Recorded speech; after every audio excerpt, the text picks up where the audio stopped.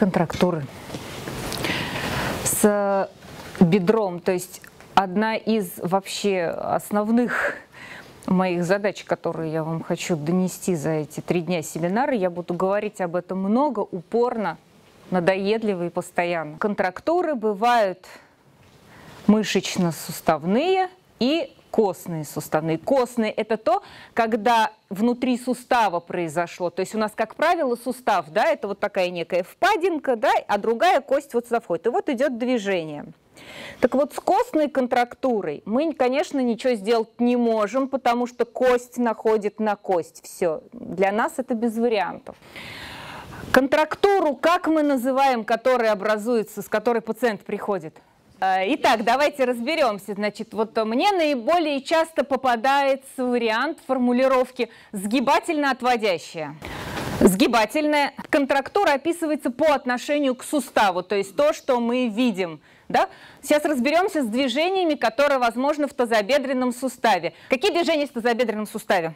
Сгибание. Сгибание. Сгибание. Отведение. Приведение есть? Есть. Приведение есть. Ротация какая? Вот наружная и внутренняя. Наружная и внутренняя. Вот эти шесть движений, они есть вот при, в шаровидных суставах. Вот он в плечевой то же самое умеет шесть движений делать, да? И тазобедренный умеет шесть.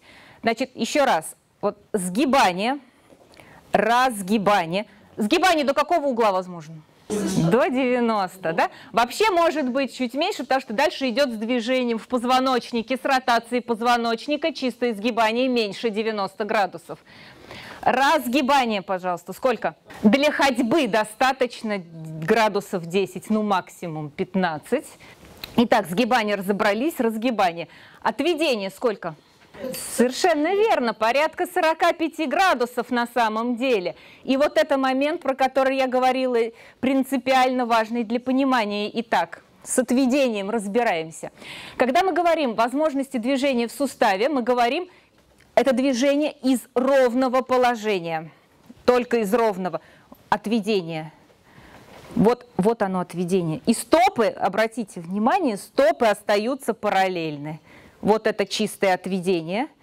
Я покажу боком. Вот это чистое отведение. Ротационное наружу и. Золотые слова. Когда мы говорим про контрактуру, мы говорим сгибательно отводящее. Сгибание есть. А вот это движение какое, ЛФК? Это отведение или нет?